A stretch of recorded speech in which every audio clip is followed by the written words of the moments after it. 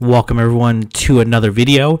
And in this video we are going to duo Giratina with no weather boost uh, with Dialga uh, and you know a lot of people and I did my comparison video of Dialga, Rayquaza, and Palkia against Shadow Claw Ominous Wind, and many people in the comments uh, noted, and in in in the Reddit thread as well, noted that I was not it wasn't a fair comparison for Dialga because Dialga's strength is not its move set uh, it's it's typing, which is fair enough. So what, what we did was we found a Dragon Tail Dragon Pulse, uh, the most difficult moveset to duo with no other boost.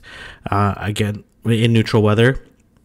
Uh, for uh, Origin Form Giratina, and we decided to use only Dialgas. We are going to max revive with these Dialgas, and uh, yeah, you know, it, Dialga can tank uh, quite a decent amount of uh, looks like two Dragon Pulses.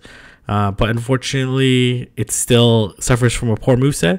But you'll see that its performance is actually very consistent compared to Rayquaza and Palkia. Where Rayquaza and Palkia, I've seen times where people beat it with 17, 18, 19, 20 seconds left. But I've also seen instances where it's absolutely obliterated the team and they end up failing failing the raid. So, but Dragon Breath is just tad too slow. I wish I wish Dragon Breath actually generated energy faster than Dragon Tail, and we end up losing that Draco Meteor. And the reason why we run into more quote unquote bad RNG is because there's just a lo- way longer window uh, for us to charge up. And because there's a way longer window, there's more opportunities to to lose a significant amount of energy, uh, as opposed to if it's a if it's a two bar move or a higher energy generation fast move, there's a lower chance because that window is much smaller relative to to the charge move. So uh, I'm on the left, Scotty is on the right, uh, and I'm gonna lobby out first after this uh, after this uh, Dialga here, and you'll see here we're probably gonna flip it around like 160 ish, so it's not too bad. Uh, but it's it's uh, you know, it's still relatively close in. We can't lose too many Draco Meteors.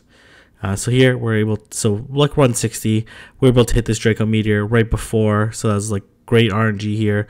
So I'm going to lobby out uh, manually and then going to go to the healing process right here. So boom, boom, boom. And then a little bit of lag on my part, this which caused the the heal to be a little bit slower, but that's perfectly fine. Uh, we're still on a on a good schedule and pace.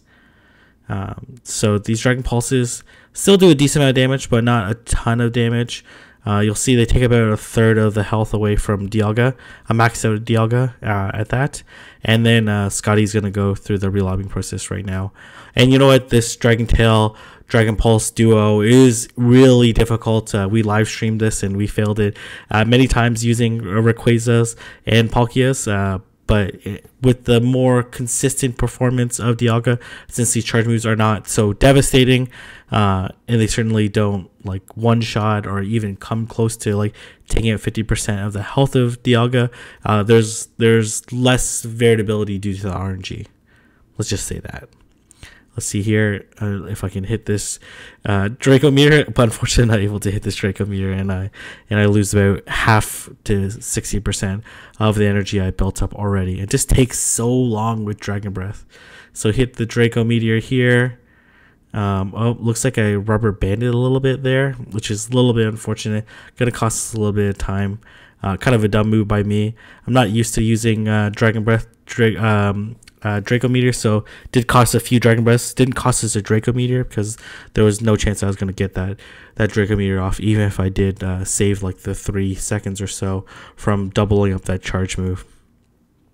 And then, uh, and sometimes you'll see that doubling up the charge move, and it'll say in the log that there was two Draco Meteors. That's actually not the case. Um, so that's just you rubber banding uh, that particular energy. So Scotty very nicely hits that Draco Meteor, great. That's awesome. He's going to manually switch, which is great. And I'm taking a look there uh, to see whether or not I am going to get this Draco Meteor. Oh, actually, I dodge here and actually risked getting dodge glitch there uh, just because uh, I didn't want to lose the energy. So uh, actually, it was a really little bit risky uh, move on my end, uh, but it paid off. And Scotty's excellent switching and understanding of energy management was uh, definitely allowed us to be successful in this raid. So thank you very much, Scotty, for for the duo. Um, if you guys like this video, don't forget to like, comment, subscribe. If you want to see any other comparison or raid videos, just put it in the comment section below, and I'll see everyone in the next video.